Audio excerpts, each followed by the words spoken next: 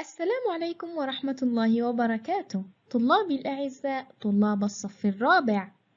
أهلا ومرحبا بكم في درس جديد من دروس اللغة العربية. عنوان الدرس الفراشة وزهرة النرجس.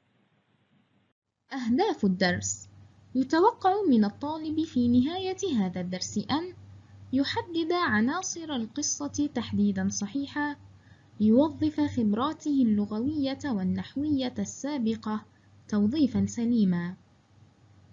هيا أحبتي دعونا نتذكر معا أحداث قصتنا.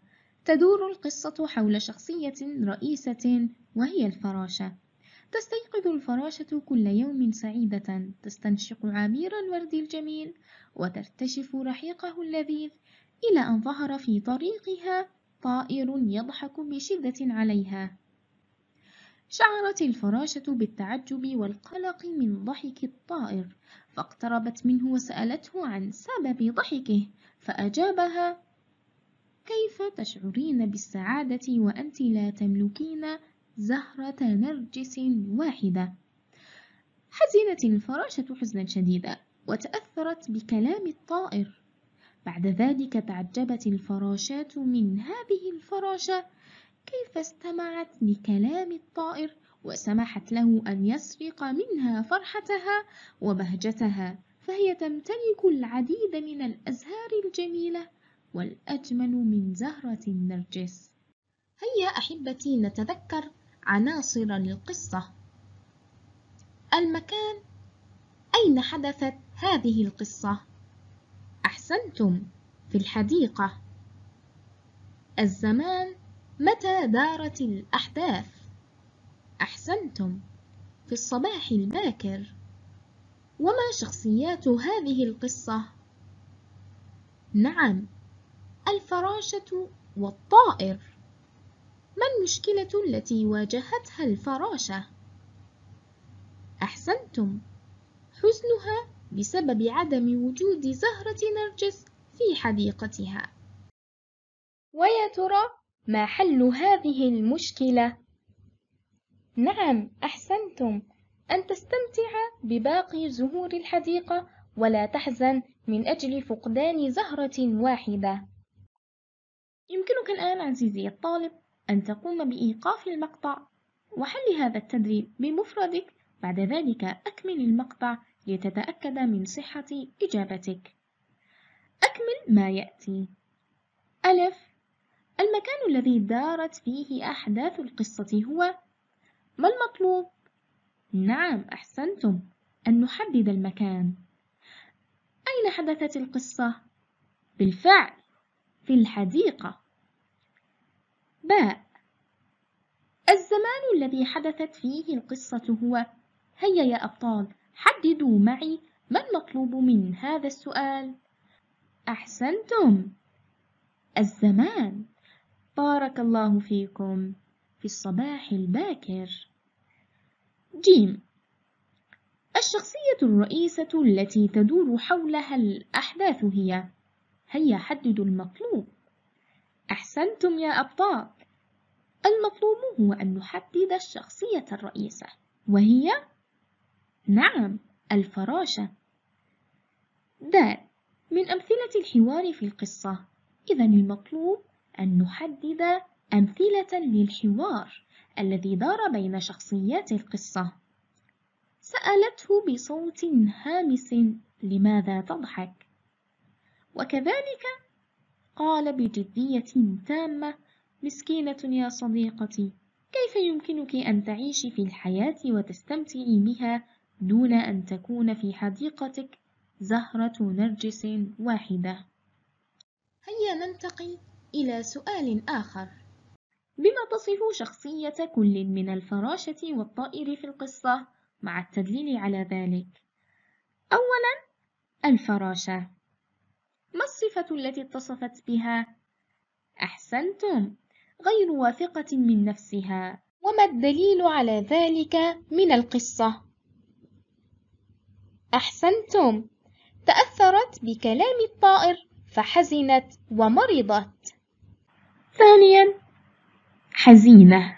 وما الدليل على ذلك؟ أحسنتم. ذبلت وانطفأت ألوانها الزاهية. بعد ذلك ننتقل إلى شخصية جديدة وهي الطائر. بما اتصف الطائر؟ نعم أحسنتم. مؤذن يسخر من الآخرين. وما الدليل على ذلك؟ بارك الله فيكم. ظل الطائر يضحك ويضحك. أحسنتم طلابي الأعزاء. والآن عزيزي الطالب اقرأ الفقرة الآتية ثم استخرج منها المطلوب. أولا حرف جر. دعونا نتذكر معا حروف الجر. في من على عن إلى. أحسنتم هيا استخرجوا حروف الجر من هذه الفقرة.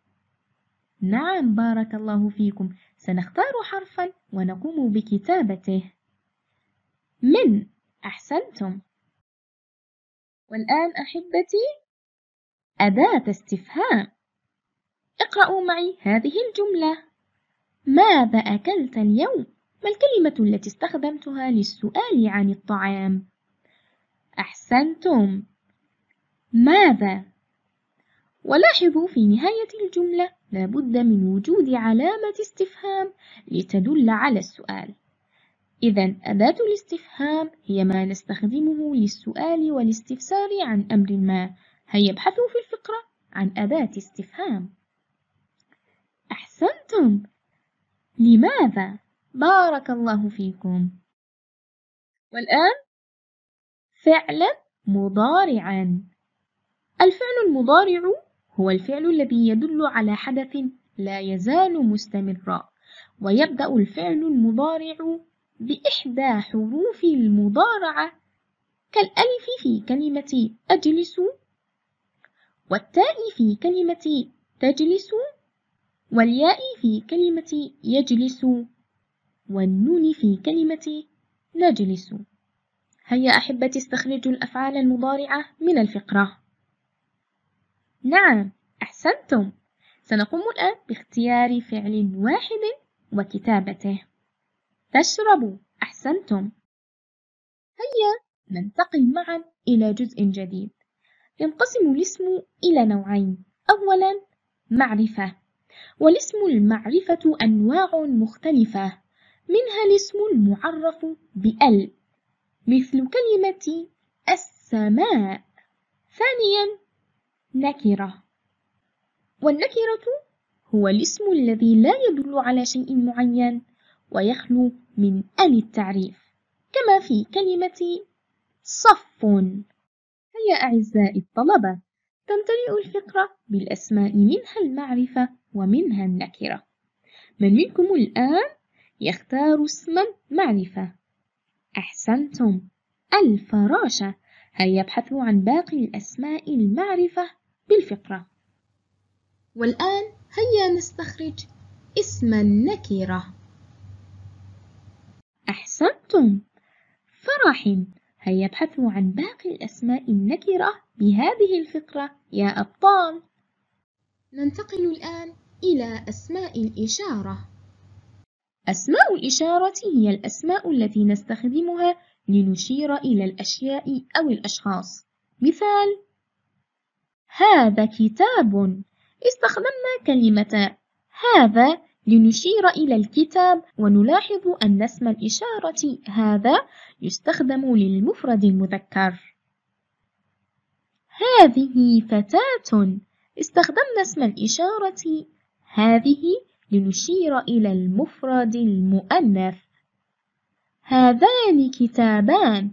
استخدمنا اسم الإشارة هذان لنشير إلى المثنى المذكر. هاتان فتاتان استخدمنا اسم الإشارة هاتان لنشير إلى المثنى المؤنث. هؤلاء أطفال. استخدمنا اسم الإشارة هؤلاء لنشير إلى الجمع. والآن أحبتي سنستخرج من الفقرة. اسم إشارة. نعم أحسنتم بارك الله فيكم. هذا.